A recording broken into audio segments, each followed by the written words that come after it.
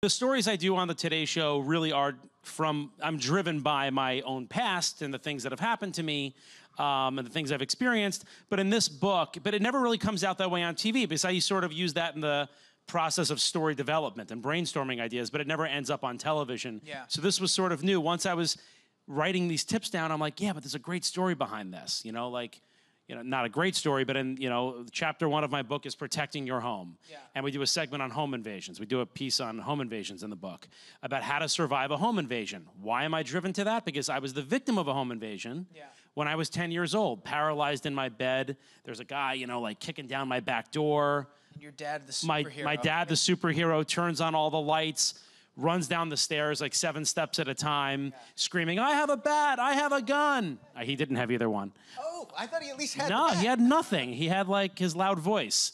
I don't think he thought ahead 10 seconds to when he actually got to the door and didn't have those things. But by then, luckily, it scared the guy off. Yeah, but yeah. it, it traumatized me. And I'm, I, I still can't, you know, I, to this day, I still can't sleep on the ground floor of a hotel. No way, really. To this day, I can't. can't do it. You Any like door that's open to the outside, or in a house, by the way. Like I'll go to. I a- was gonna say, I'll go it to apply to, like, a house. It applies to houses too. I'll go to visit my parents, for example, and they have a single story, and I have to. I freak out the entire time I'm there That's incredible. because if you can get to me on that first floor, I feel un- unsafe. Like living here in New York City, it's great because we live in apartment Yeah. buildings. Was that kind of like your your Batman Begins? Is that your origin story? Is like if you Sure, that sounds better than. Yeah. That sounds good. Yeah, That's sure. like the moment you were like, I am devoted to this. Like, yeah, yes. And so I'm like, and now that I'm a dad myself and I have a house and all that, I'm like, okay, what would I do in a home invasion? Would I be as heroic as my father? Did he do the right thing? Was that a dumb thing to do? Yeah. So we decided to, I decided to write about that.